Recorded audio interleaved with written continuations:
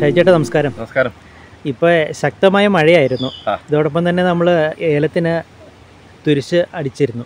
എന്നാൽ പോലും ഇപ്പോൾ വീണ്ടും അഴുകൽ കാണുന്നുണ്ട്. അതുപോലെ കൊത്തഴുകൽ കാണുന്നുണ്ട്. ശരിക്കും നമ്മൾ ഇതിന് ഒരു ശാശ്വത പരിഹാരം എന്ന് പറഞ്ഞ മരുന്നുകൾ എന്തൊക്കെയാണ് ഉള്ളത്? ഇപ്പം എന്നാ കൊത്തഴുകൽ കൂടുതലുണ്ടോ? കൊത്തഴുകലാണ് കൂടുതലായിട്ട് കാണുന്നത്. ഈ കൊത്തഴുകൽ പെട്ടെന്ന് ഈ അതിശൈത്യം വരുമ്പോൾ ഉണ്ടാകുന്ന ഒരു പ്രതിഭാസം അത്. അപ്പോൾ അത് ചില കട്ടിപ്പ് ഉണ്ടാവും അതിന്.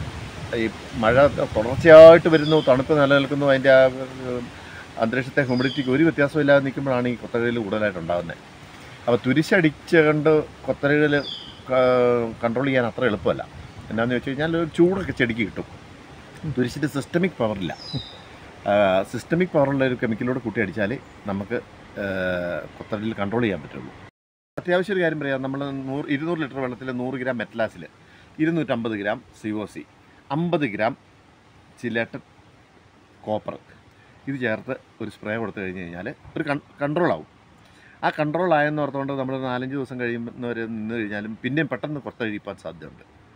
അതെന്നാന്ന് വെച്ചാൽ അന്തരീക്ഷത്തിലെ ഹ്യൂമിഡിറ്റി വന്നിട്ട് ഞെടുപ്പിനകത്തേക്ക് പോലും മൂലങ്ങളെ കടത്തിവിടാതെ കടത്തി വിടാതെ ഈ തണുത്തും മരച്ച് ഫ്രീസാവുക. അപ്പം നമ്മുടെ ശരീരമാണെങ്കിലും ഇങ്ങനെ ഫ്രീസായി കഴിഞ്ഞ് കഴിഞ്ഞാൽ ഒരു ഭാഗം ഫ്രീസായി കഴിഞ്ഞാൽ ജീർണിക്കാനായിട്ട് തുടങ്ങും. ചേറ്റിക്ക് അങ്ങോട്ട് തണുത്ത് കഴിഞ്ഞാൽ അങ്ങനെ വരികയല്ലേ. അപ്പോൾ അന്നേരം അതിനകത്തൂടെ ഈ രക്തപ്രവാഹമില്ല മൂലകങ്ങളൊന്നും കടന്നു വരികയല്ലാതെ ഒരു സ്ഥിതി വരുന്നതുകൊണ്ടാണ് ഈ ഞെട്ടെ വെച്ചിട്ട് ബന്ധം വെച്ച് കൊത്തം കഴുകും. അതൊരു കാലാവസ്ഥയുടെ പ്രവണതയാണ്. അതിനിപ്പം നമ്മൾ കണ്ടുപിടിച്ചേക്കുന്ന ഒരു ഐറ്റം എന്ന് പറഞ്ഞാൽ ഒരു അഞ്ച് ഐറ്റം ചോട്ടിൽ മാത്രം സ്പ്രേ ചെയ്ത് കൊടുക്കുന്ന ഒരു അഞ്ച് ഐറ്റം. അതാണ് നമ്മൾ കണ്ടുപിടിച്ചേക്കുന്നത്. ഇപ്പോൾ പറഞ്ഞ് ചെയ്യ ചെയ്യണം. മെറ്റ്ലാസിലെ സി ഒ സി ചെയ്യണം. ചിലേറ്റർ കോപ്പർ ഒരു സ്പ്രേ കൊടുത്തതിന് ശേഷം അഞ്ച് ദിവസം കഴിഞ്ഞിട്ട് നമ്മളുടെ അഞ്ച് ഐറ്റങ്ങൾ നമ്മൾ ആ കായ മാത്രം സ്പ്രേ ചെയ്ത് കൊടുക്കണം. അതിലൊരു ഐറ്റം എന്ന് പറഞ്ഞു കഴിഞ്ഞാൽ ചിലേറ്റഡ് കാൽസ്യം ഇരുന്നൂറിന് നൂറ് ഗ്രാം. പിന്നെ പോയിട്ട് നമ്മൾ സേഫ് ത്രീ എന്ന് പറഞ്ഞിട്ടുള്ള വൈറൽ ഫംഗൽ ബാക്ടീരിയ ജൈവം ഇരുന്നൂറിന് നൂറ് മില്ലി. അപ്പോൾ അതാകുമ്പോൾ നമുക്ക് ഈ കറ്റരോഗത്തിനൊക്കെ കൺട്രോളാണ് പിന്നെ ചിലേറ്റഡ് മഗ്നീഷ്യം. ചിലേറ്റഡ് മഗ്നീഷ്യം എന്ന് പറയുന്നത് ഇരുന്നൂറിന് നൂറ് ഗ്രാം. അപ്പോൾ അതെന്ന് പറഞ്ഞു കഴിഞ്ഞാൽ സാധാരണ മഗ്നീഷ്യം ഒക്കെ എടുത്ത് കയറിയൊക്കെ വന്നു കഴിയുമ്പോഴത്തേക്കും പ്രതിരോധശേഷി ആ, ഇരുപത്തിനാല് മണിക്കൂറിനകം ചെടിയിലേക്ക് ഈ മഗ്നീഷ്യം കയറ്റി കൊടുക്കണം.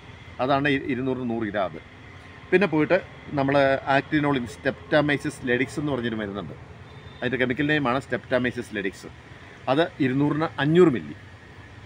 ഇത്രയും ചേർത്ത് ഒരു സ്പ്രേ ആണ് ചെയ്യേണ്ടത്.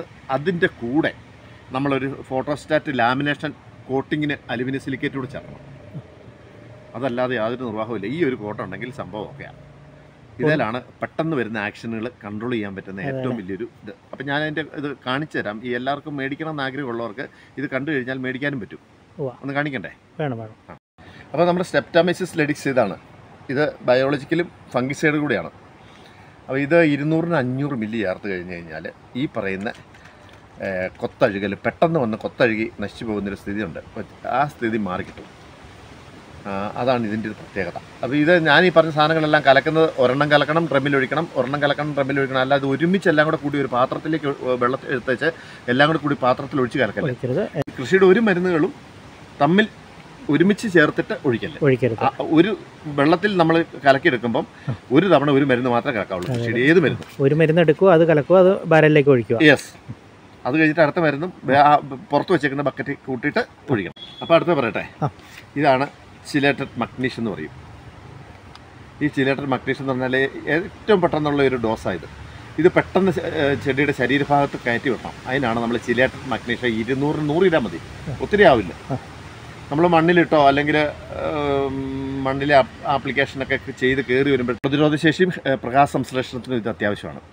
അപ്പോൾ ഇത് നമ്മൾ പെട്ടെന്ന് കയറിക്കോളും ചിലേറ്റർ മഗ്നീഷ്യം ഇത്. അടുത്തെന്ന് പറയുന്നത് ചിലേറ്റർ കാൽസ്യമാണ്. ഞാൻ ഇത് അടിക്കണമെന്ന് എല്ലാ കർഷകരോടും ഞാൻ കൃത്യമായിട്ട് പറഞ്ഞു. അപ്പോൾ നമ്മുടെ ഈ പെയ്യുന്ന വെള്ളത്തിന്റെ അസിഡിറ്റി കൺട്രോൾ ചെയ്യണമെങ്കിൽ കാൽസ്യം വേണം.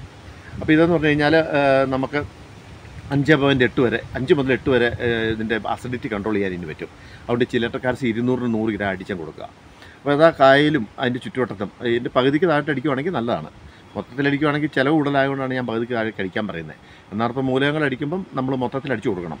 ഇതിപ്പോൾ അത്യാവശ്യം വരുന്ന ഒരു രോഗത്തെ തറഞ്ഞു നിൽക്കാൻ ഉള്ളൊരു ടിപ്നെസ്സാണ് വന്നേക്കുന്നത് ഇത് സേഫ് ത്രീ. ഇത് വൈറൽ ഫംഗൽ ബാക്ടീരിയ ആക്ഷനാണ് ഇത് നൂറ് ഇരുന്നൂറ് ലിറ്ററിന് നൂറ് മില്ലി. വൈറസ് ഫംഗസ് ബാക്ടീരിയ എല്ലാം കൺട്രോൾ ചെയ്യും. അപ്പോൾ ഇത്ര സാധനങ്ങളുടെ കൂടെ നമ്മൾ ഈ ഫോട്ടോസ്റ്റാറ്റ് കോട്ടിങ്ങിന്റെ കാര്യം ഞാൻ പറഞ്ഞില്ലേ? Aluminium silicate. ഈ അലുമിനിയം സിലിക്കേറ്റ് അലുമിനിയം കലത്തിന്റെ ഒക്കെ ഒരു കോട്ടിങ് വരികയല്ലേ? അതേ കളറിലുള്ള ഒരു അലുമിനിയം സിലിക്കേറ്റായത് അപ്പം അത് ഒരു ഫോട്ടോസ്റ്റാറ്റ് കോട്ടിംഗ് കൂടെ അതായത് ഒരു കംപ്ലീറ്റ് കവചമായിട്ട് കായലും വള്ളിയിലും ഒക്കെ നിന്നോളും ശരത്തേലും ഒക്കെ. അപ്പോൾ അതുകൊണ്ട് ഇത് ഇരുന്നൂറിന് അര കിലോ. ഇത്ര സാധനങ്ങൾ ചേർത്തിട്ട് അടിച്ചങ്ങ് കൊടുക്കുക. അപ്പോൾ ഇതിന് പ്രത്യേകിച്ച് ഇനി ഇത് ചെയ്യുമ്പം പശ ചേർക്കരുത്. പശ ചേർക്കരുത്.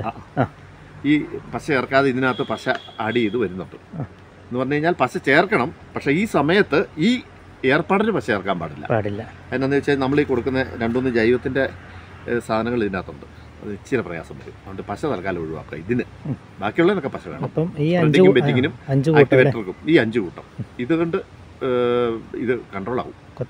പെട്ടെന്ന് കൺട്രോൾ ആവും. പെട്ടെന്നുള്ള ഒരു. ഇഞ്ചക്ഷൻ ചെടിക്ക് നല്ലതാണ്. ചെടിക്ക് മൂലകങ്ങളും എല്ലാം കിട്ടും. വളരെ നല്ലതാണ് ഇത്.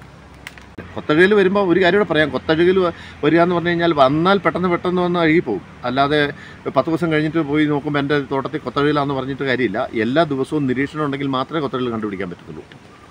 എല്ലാ ദിവസവും ചെടി നിരീക്ഷിക്കണം. കൊത്തഴുകൽ വന്നു കഴിഞ്ഞാൽ ഇന്ന് നാളെ നാളത്തെ കഴിഞ്ഞ് അഴുകും. ആണ്. എന്തായാലും വളരെ ഉപകാരപ്രദമായ ഒരു വീഡിയോയാണ് എന്തായാലും കുറഞ്ഞ നിമിഷം നമ്മളോടൊപ്പം ചിലവഴിച്ചതിനുള്ള നന്ദി അറിയിക്കുകയാണ്. Okay thanks